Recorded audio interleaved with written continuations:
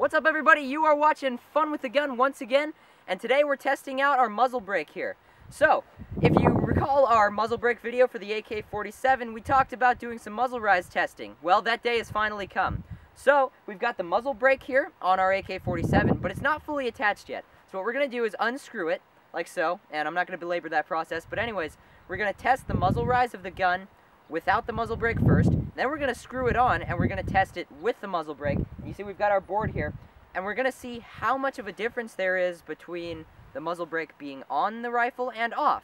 We're to, and then after that, just for grins, we're to test out my AR and see how much of a difference there is between that and the AK. So, let's get this thing started.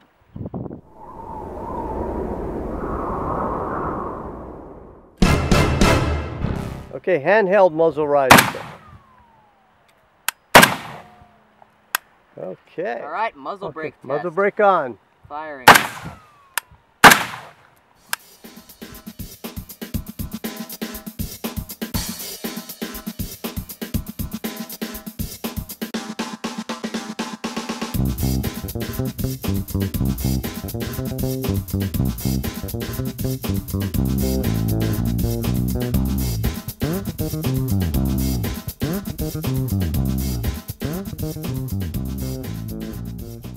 Okay, Alright. this is the AR.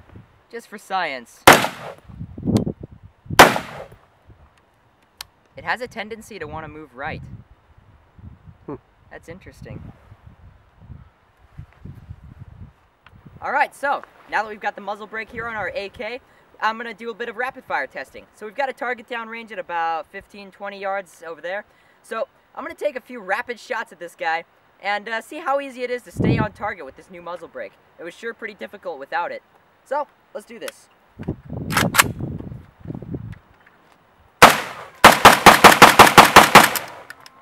Wow! That's amazing. Let's go check a look. So, besides that one errant shot on the left, uh, it looks like I hit everything within the 9 and the 8 circles, so that's really, really accurate, especially for how quickly I was shooting. That's incredible.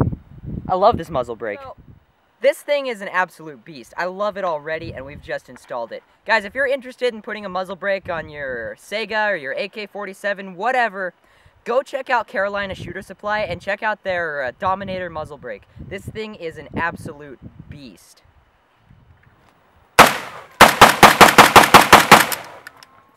Once again, everybody, thank you all for watching. Don't forget to hit that like button on that video if you enjoyed it. It really helps out the video and the channel.